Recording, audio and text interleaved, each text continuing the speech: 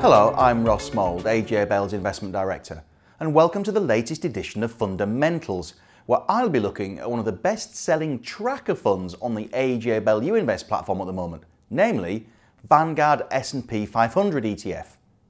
Now, an ETF is designed to track the performance of the underlying assets and deliver that performance minus the instrument's running costs. This particular tracker is following one of the US stock market's best known and broadest indices, the S&P 500 Composite. Vanguard S&P 500 ETF uses physical or direct replication to generate the performance, so it owns the underlying securities, which in this case are some of America's biggest firms by market value.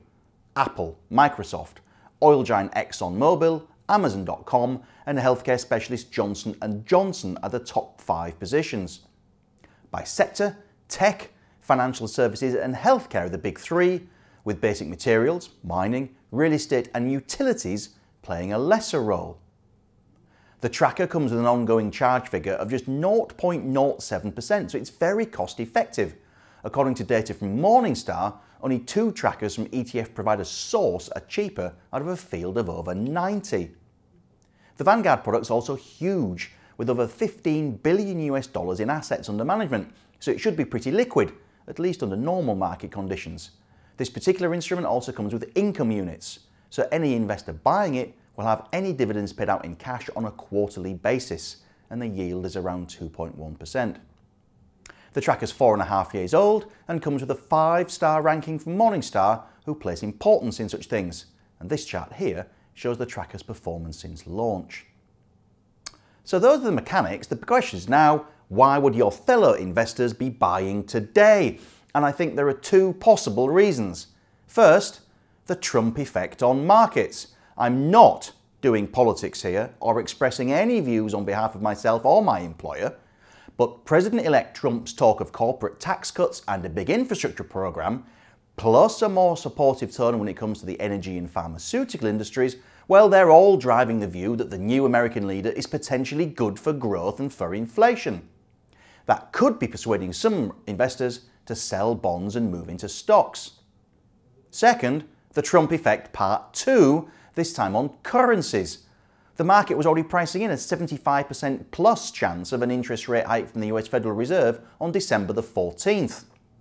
The fact that stocks have taken the election results so well, certainly better than many expected, and that Trump's in is looking to boost growth and inflation means the market sees that hike is increasingly likely, with perhaps more interest rate increases to come in 2017. That in turn is boosting the dollar, something which increases the value of US assets to overseas holders. The dollar trade weighted basket tracked by the Bank of England shown here.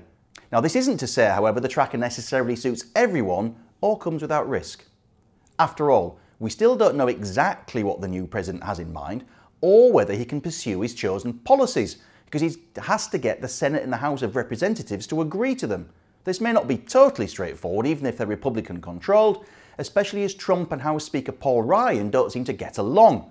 Remember, Ryan calls for budgetary balance, not splurging cash everywhere. In addition, we have heard talk of infrastructure spending before.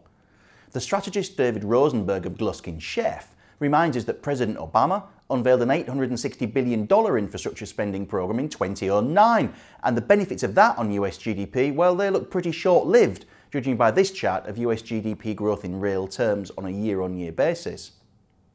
Finally, the US market is already pricing in a lot of good news, or at least you can argue as much. On a market cap to GDP basis, it's only been more expensive on two occasions in 60 years, 2000 and 2007, and both of those episodes were followed by horrible market falls. So in some ways, expectations are already quite high, and do note that for all of the rally seen in the last week, the US market, as benchmarked by the S&P 500, is only 5% higher than it was nearly two years ago. So you can argue US stocks are making pretty slow progress at best, despite what everyone keeps saying is a benign backdrop.